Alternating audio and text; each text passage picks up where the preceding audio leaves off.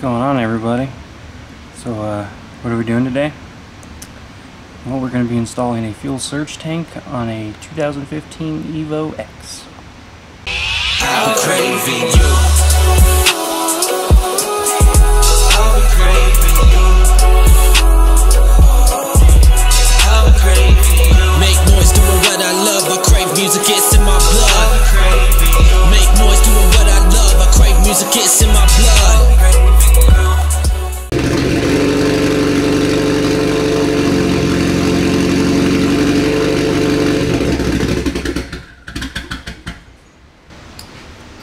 Here is everything you get in the box, all supplied lines, wiring, nuts, bolts, the surge tank itself, relays, and fuse holder. Everything you need to install this kit on your 2015 Evo X.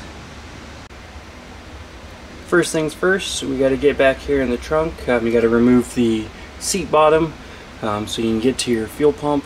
And then you also need to remove some hardware here in the back of the trunk. So we need to remove that bolt on the washer tank.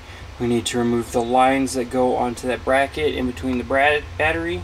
Um, there's a hole there that'll be a new bolt and then we need to install a stud on that bracket right there for the uh, fuel pump, or sorry, the surge tank holder.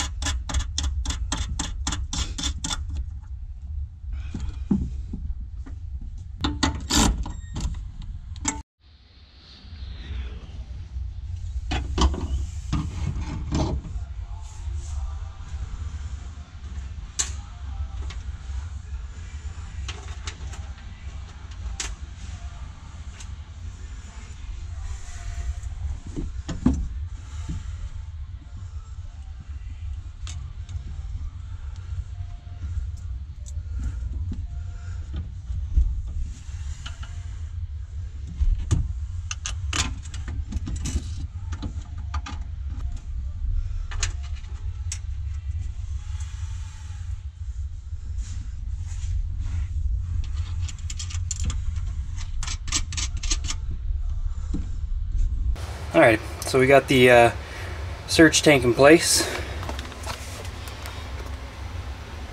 Fits really good back here.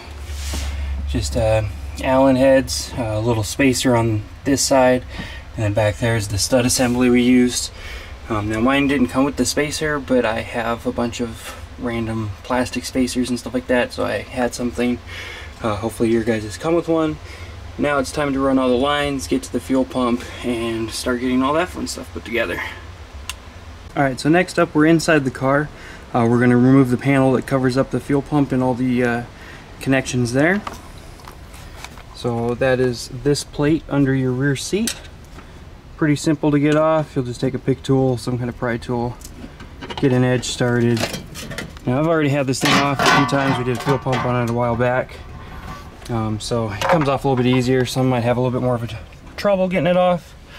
Uh, and then your next thing is you're going to want to take this line off. Um, you'll just have to take and use a tool, same thing, kind of pry it up. To disconnect like that. You'll pull it off. You'll definitely want a rag. You're going to leak some fuel out, uh, most likely. Even, even with running the fuel pump, or running the car AN then taking the fuel pump fuse out, there's probably still going to be a little bit of fuel in this line. Um, it's bound to happen. So we're going to get that off and then we'll start running the other lines. Alright, so the first line we're going to be installing it's going to be this line right here. It's got a 180 degree and fitting on that side and then it's got a um, quick disconnect which you have to install this and the clamp it's a little bit of a pain to get that in there uh, but it goes and it says you can attach it to any of the three black AN fittings on top of the surge tank. So there's three black one green. The green is the feed line so the pump inside the surge tank that'll be the feed line to the engine. This line supplies fuel to the surge tank and this will connect to the fuel pump um, the fuel pressure yeah the fuel pump out of the stock fuel tank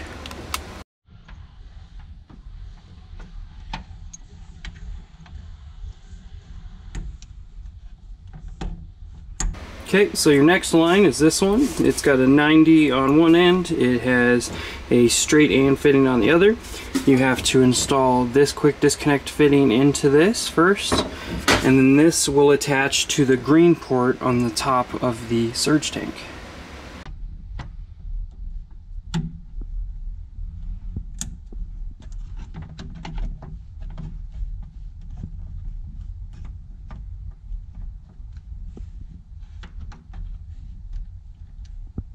Alright, next up is this hose. So we got those two hoses done. This one here is for the fuel return line.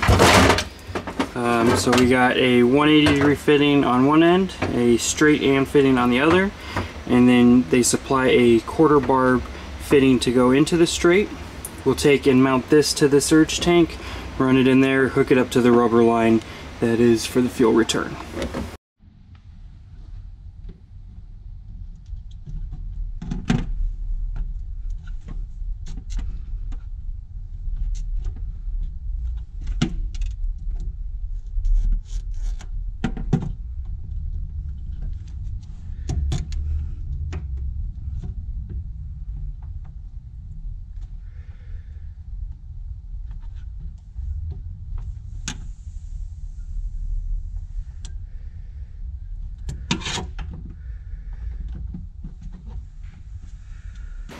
Pretty straightforward. Uh, so the next line is going to have a 180, a 45. You're also going to need a this rubber hose that it comes with, the two hose clamps, and another quarter barb. Now this barb will attach to the 45. That 180 will attach to the last port on the tank, which is on this side. Now you can run the three the three ports with the 180s, you can run those however you want on the surge tank apparently. Um, the green one is the only one that needs to be with the 90 that goes to the uh, quick disconnect. And then this hose right here can be cut to fit however you want to run it and make it look good. Alright, so as you can see, all the lines are ran. Next we're going to take and install this hose clamp. Um, or hose, yeah, multiple hose clamp. We're to take and put it up here, and then it's to sit right about in this area. It's got two screws We'll drill little pie holes, screw this in. Alright guys, so next up is we're just to work on the wiring here.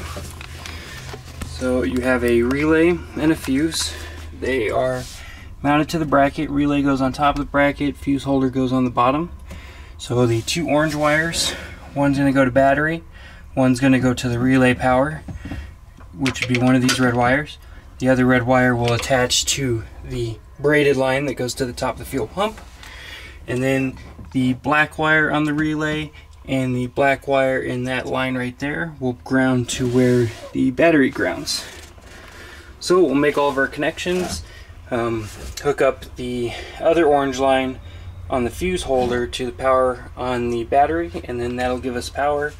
The blue wire, which will go into where the fuel pump is, the factory fuel pump, and then that will attach to the blue wire on the trigger for the fuel pump or the signal wire and then that'll pretty much run both of them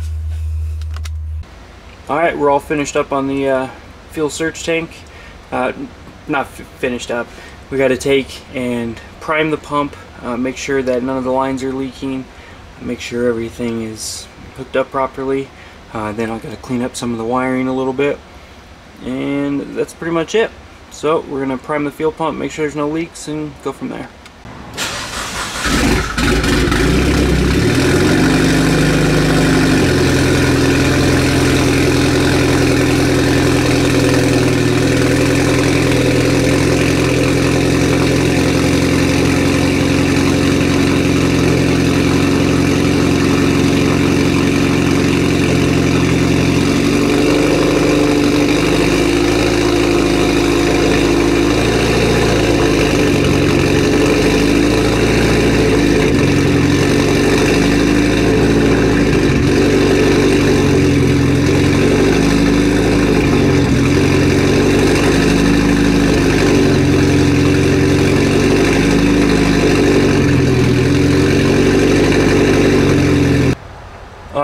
Up here. Um, don't have any leaks anywhere.